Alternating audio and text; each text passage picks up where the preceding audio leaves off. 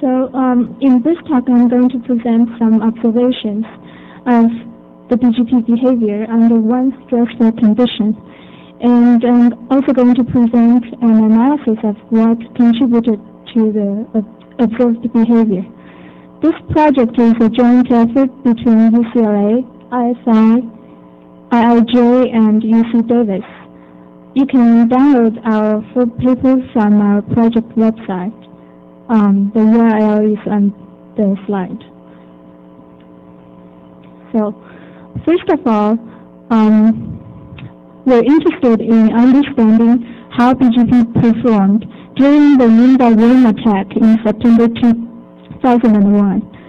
Um, I'm showing a plot of the hourly BGP update count received at the monitoring point RRC0 uh, at NCC. Um, as you can see, um,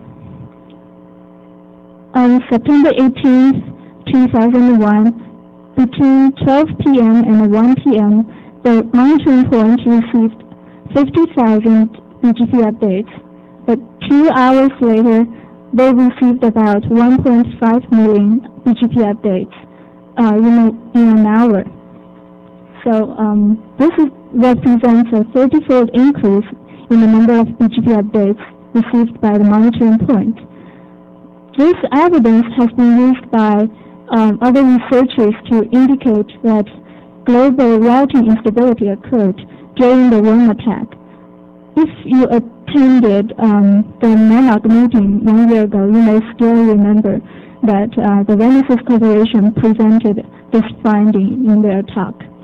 So in our work, we want to understand exactly what are the causes of the spike. And um, we want to find out whether this kind of spikes really indicate routing instability in the global internet. First of all, the spike could have been caused by the worm. Um, as one report from the SANS Institute says, the Nimda activity started at about 1 p.m. Um, on September 18, 2001, and proceeded to taper off in the following hours. It seems that the activity of the worm um, correlates to the big spike in BGP update very well. However, this kind of spikes uh, has also been observed before. It could, it could be caused by implementation bugs or protocol design problems.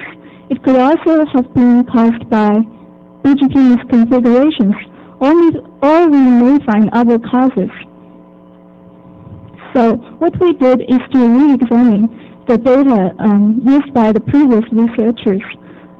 What we did is to use the BGP update messages collected by the monitoring point RC00 at RIPE NCC from September 10th, 2001 to September 30th, 2001. This monitoring point has 12 BGP peers. It has three US peers, the AT&T, Verio, and Global Crossing. Uh, it also has eight peers in Europe uh, and one peer in Japan. So with this diverse set of peers, um, we should have a good picture of what exactly uh, uh, happened in the different ISPs during the worm attack. So in order to identify what caused the spike, we first classify BGP update messages and then identify the causes of each class. We first classify the updates into announcements and withdrawals, and the announcements are further divided into new announcements, duplicates, and implicit withdrawals. Um, we, we further divide the new announcements into BGP table exchanges and three other categories. Um, for implicit withdrawals, um, we know that each uh, route can be uh, composed of several BGP attributes uh, there are uh, the AS path attributes, NAT and uh, community attributes. So if the implicit withdrawal doesn't change the AS path attribute, then we call it an S path uh, uh, implicit withdrawal. If it does change the AS path, we call it a D path implicit withdrawal. Uh, we give an example of how we classify the BGP updates. First, let's suppose that at time t0, there is a session reset between the monitoring point and the peer router. Then um, at time t1, we receive uh, an announcement for the prefix 216 and 200.16.216.0. Um, since this is the first update for this prefix, after the session reset, we call it a BGP table exchange. And then we receive a withdrawal for this prefix. After the withdrawal, we received a new announcement for this prefix. And we can see that the new uh, the AS path in this uh, uh, in this announcement is different from that uh, announced at time T1. So we call it a new announcement with different attribute. is called nada. Otherwise, we call it a flap. So at time T4, we receive another announcement for this prefix. And we can see that all the attributes, the AS path and the community attributes are exactly the same as uh, uh, the route announced at time T3. So we call it a duplicate. At time T5, um, we received an implicit withdrawal. You can see that this um, the AS part, the AS path part is different from the AS path part announced at time T4. So this means uh, we get a new AS path to this prefix. So we call it a D-path implicit withdrawal. At time T6, we um, got another implicit withdrawal. However, um, the AS path part remains the same, but the com community attribute uh, is changed. So we call it an S-path implicit withdrawal. So using this classification method, um, we plotted the number of BGP update messages we received every day from September 10th to September 30th. The red curve in this graph shows the total, and the green curve shows the number of announcements, and the blue curve shows the number of withdrawals. We can see that um, September 18th, the attack day received the highest amount of BGP update. Um, and September 30th received the lowest amount. And uh, one more observation we can make is that most of the BGP updates are announcements.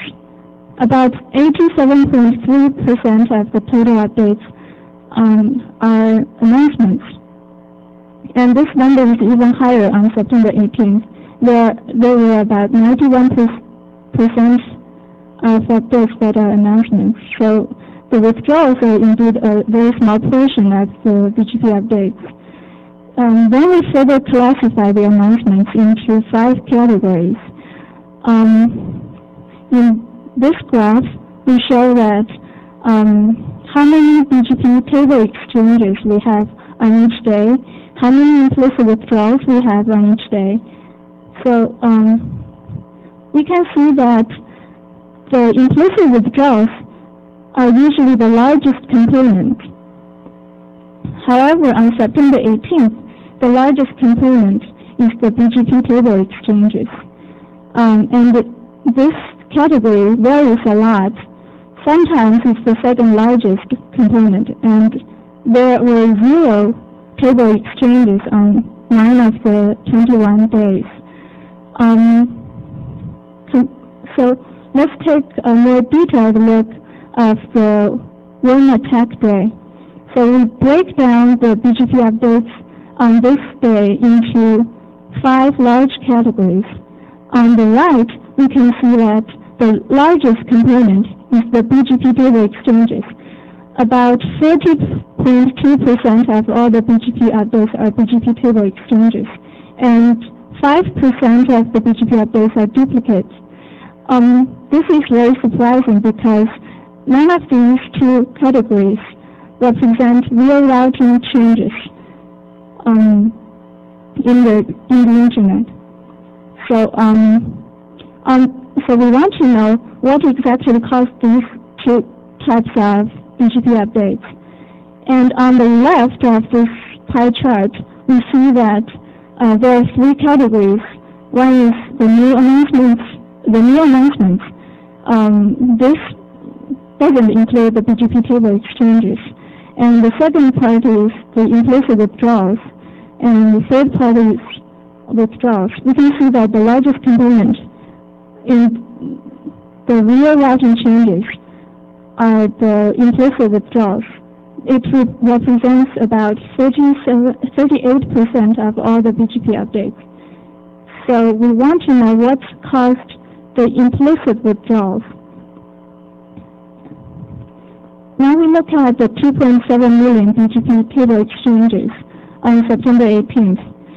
We found that they're caused by 30 session resets between the monitoring point and the peer routers.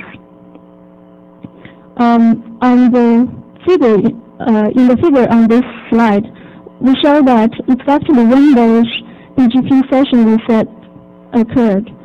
Um, each mark on this graph represents a session reset the x-axis is time and y-axis represent different peers.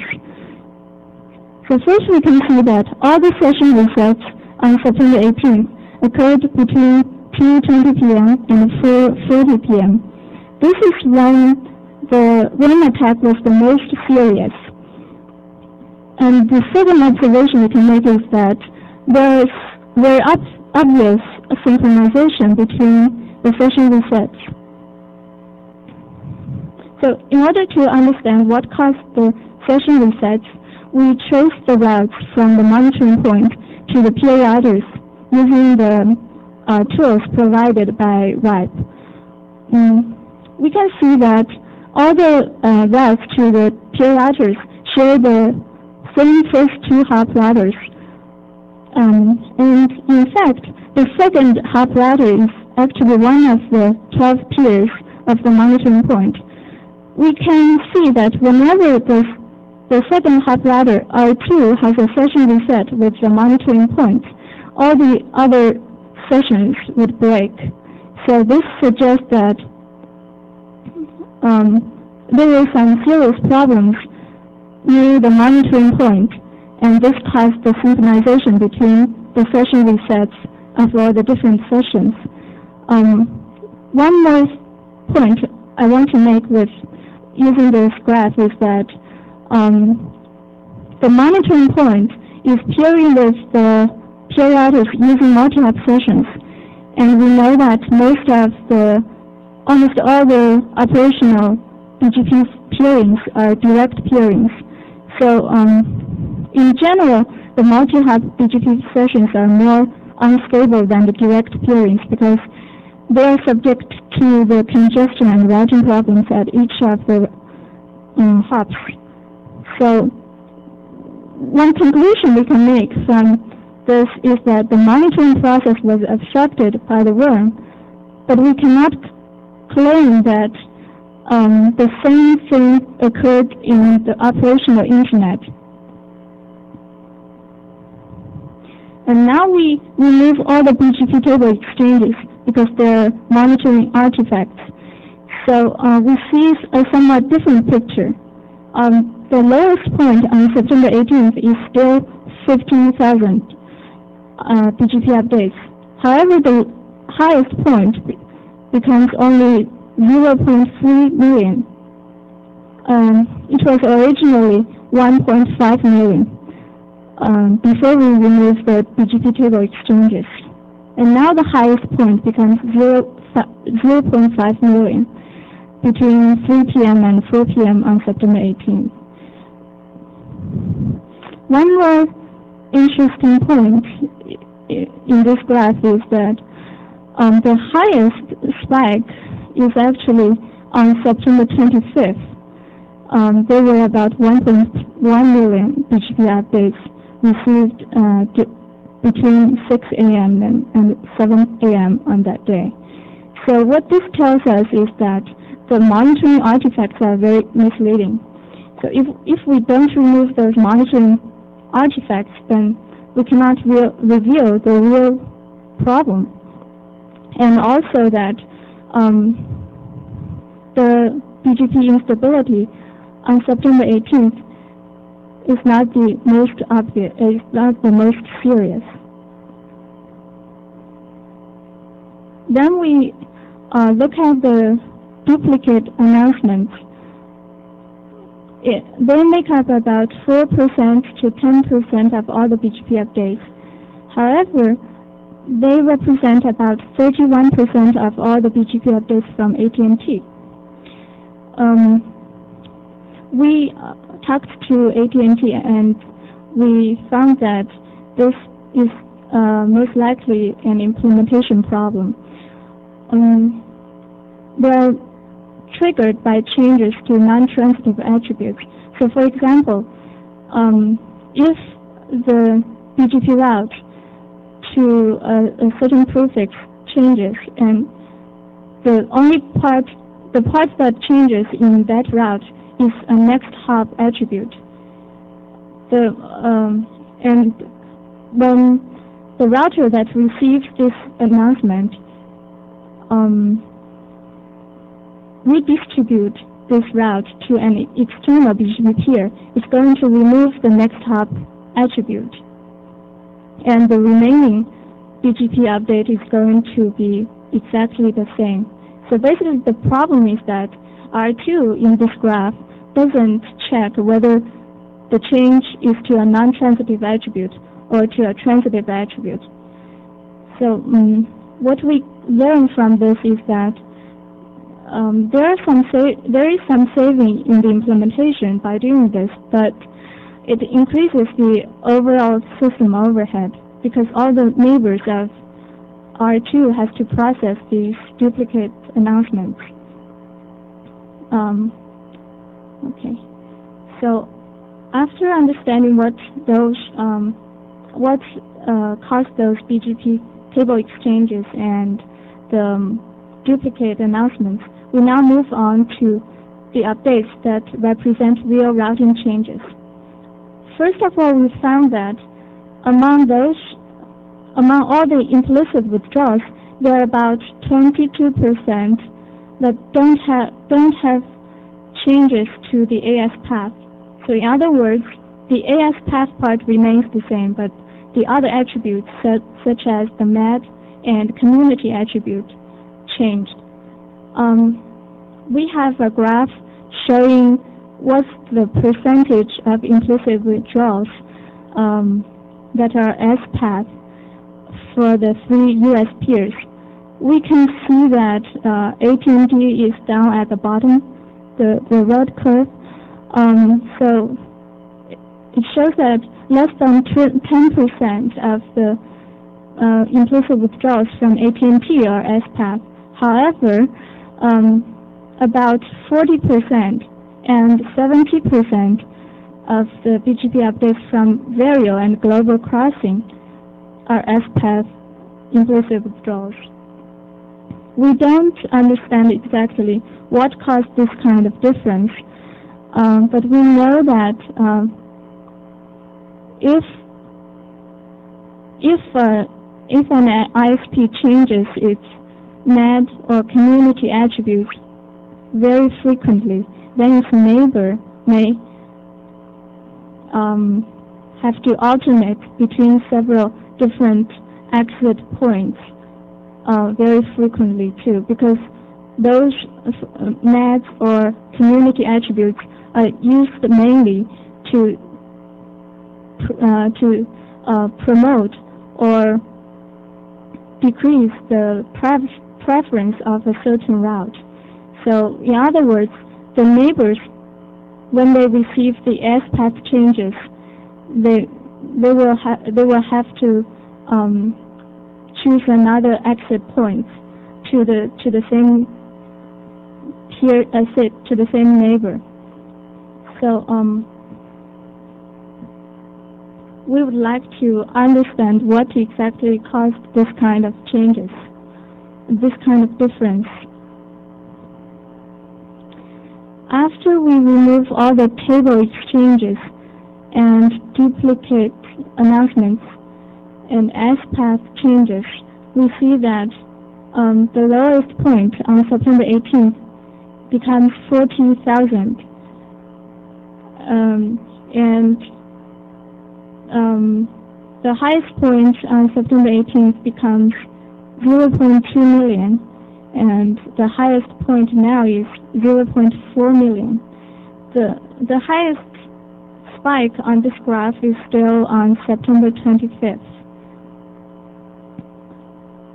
Um, now we want to know among the BGP updates that represent real AS level topology changes, uh, exactly um, how how many prefixes had, for example, 10 routing changes, how many prefixes had only one routing changes. Um, and then there may be some prefixes that didn't have any routing changes at all.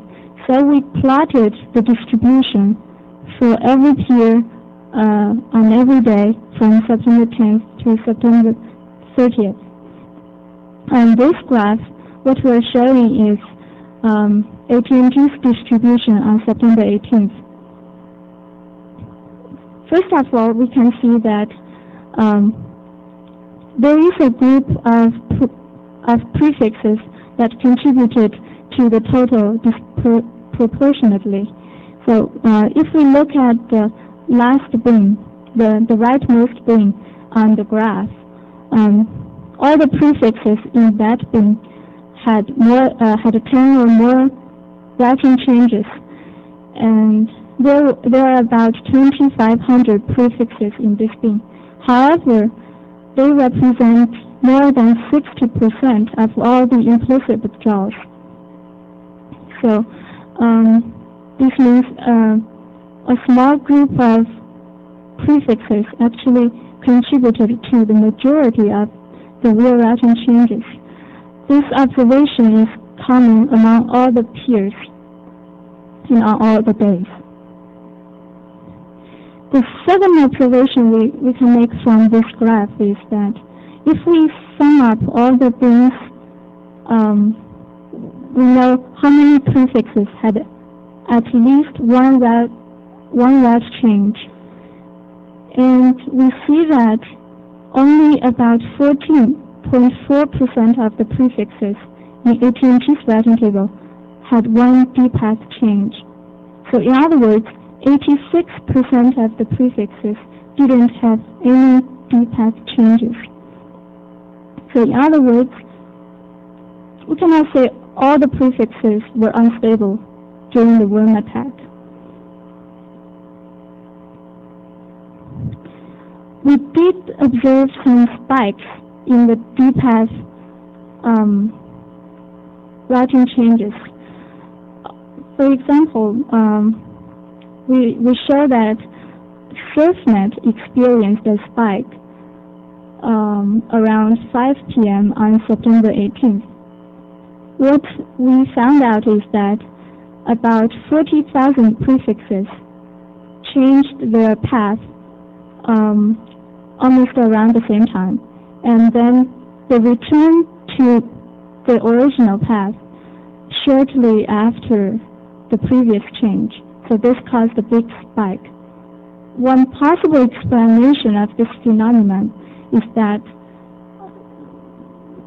SurfNet, uh, the operational session between SurfNet and one of its peers probably broke uh, around this time and the session came back uh, shortly after the session uh, broke.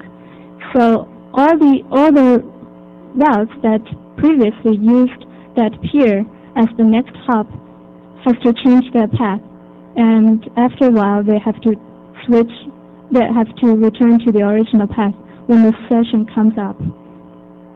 So this shows that um, if, if our explanation is correct, this shows that there were there were operational peering sessions that broke on the worm attack day.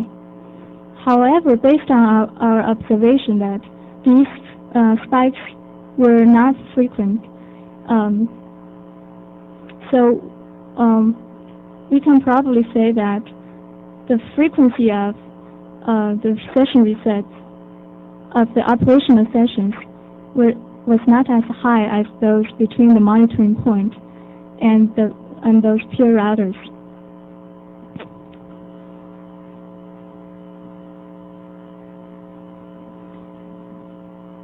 So now let me conclude um, the presentation. So first of all, we found that excessive session resets at the monitoring point contributed most to the spike. This is a monitoring artifact. If we are not careful when we, when we are looking at the data, then we may arrive at the wrong conclusion. Um, the second, uh, the second conclusion is that a substantial amount of BGP updates don't reflect AS level topology changes. For example, the um, duplicate announcements and those S-path implicit withdrawals. Um, finally, we can conclude that the, um, there, there were a small group of networks that are probably seriously affected by the worm attack. And um, BGP allowed those uh, local changes or local unreachability to propagate to the whole internet.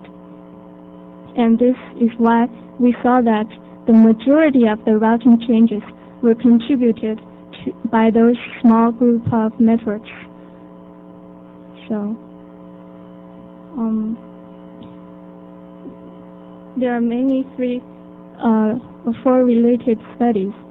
Labovitz uh, and other people studied BGP pathologies before. And actually our study also found some of the previously um, uh, identified problems. They still exist in the uh, internet. For example, the duplicate updates. Mm. The, sec mm, the second and the, third related study is uh, about the BGP behavior under congestion. In both of these two studies showed that when they uh, experimentally increase the congestion, the network congestion level, BGP sessions will break. Our um, empirical observations seem to uh, support their conclusion. Um, and this, the fourth related study is by uh, Maennel and Feldmann. They analyzed BGP traffic characteristics um, to produce realistic BGP traces. Um, they also identified some characteristics uh, that we see in this uh, study. However, their main purpose is to produce um, BGP traces in test lab environment. Our main purpose is to diagnose problems in the BGP traces. This is a list of references. Um, so this is the end of my talk.